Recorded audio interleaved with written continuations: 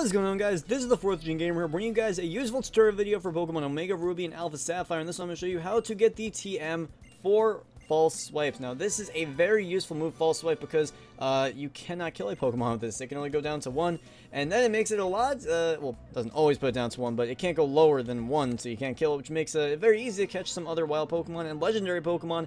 Just get them down to a nice low health, put them on that uh, paralysis or sleep or whatever you want to do, and that's that pretty much. So if this video did help you, hit that like button and let me know if you use this in the comment section below, and I'll see you guys in the next video. Peace.